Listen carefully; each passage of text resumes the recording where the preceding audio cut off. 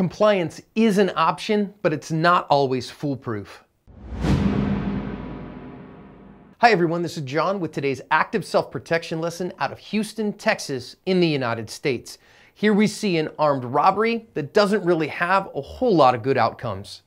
We immediately see the first guy with a long gun. Next, two guys with handguns come in and barge in past the door where we'd expect people to be, right? There's employees back in here. You can see the one that's staying by the door as well. While the other two come in here, again, long gun and handgun in hand, and start threatening employees. They start coming up and going, hey, wait a minute, you know, uh, pointing guns at them and looking around for where the cash is and whatever. Now, we can't see what ends up happening off camera here, but we do see this employee come up, hands raised, totally compliant, right? And of course, got guns in his face. So uh, whether it was the shotgun or now the guy with the handgun, he's like, hey man, whatever I can get you, that's fine. Now we see the guy with the shotgun come up and there is a, a female employee that he's pointing the gun at and she's gonna raise the hands as well. Hey, no problems, man, whatever I can give you, that's fine.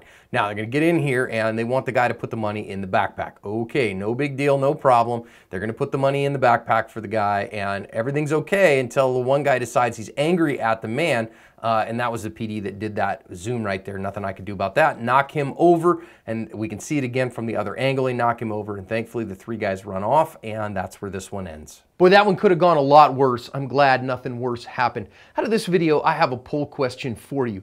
Do you think in situations like this that just taking a bonk on the head with a gun like that is a positive outcome as exists? Let me know if you think that it would have been better for him to resist or if this was the best possible outcome. Me personally, I think sometimes you're stuck in a Kobayashi Maru and you just got to do what you do and he did the best he could in the moment. Out of this particular one, I want to talk about compliance being an option, but at the same time, I want to talk about the dangers of compliance and the dangers of multiple attackers.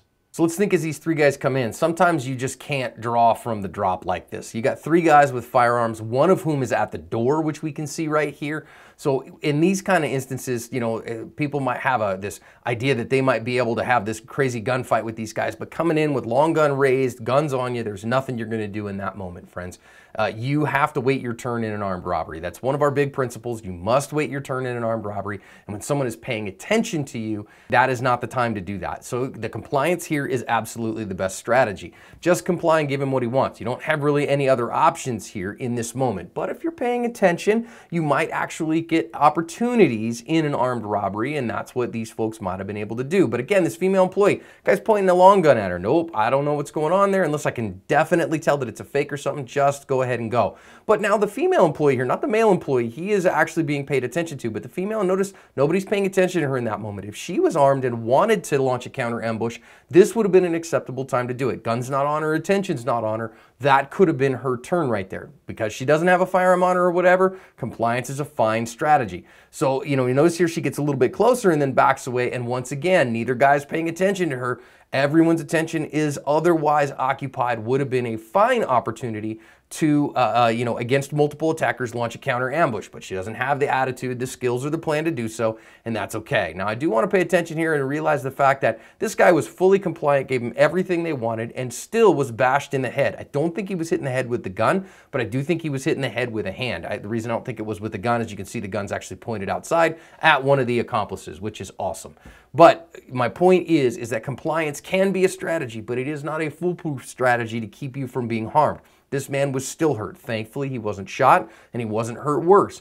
But we do see the fact that compliance can be an effective strategy. We see it work on camera on a regular basis, but it's not a foolproof strategy. So you got to recognize that. And for me and for mine, I would rather take my chances looking for an opportunity than I would just putting myself in the hands of a convicted or an armed felon here in this particular case.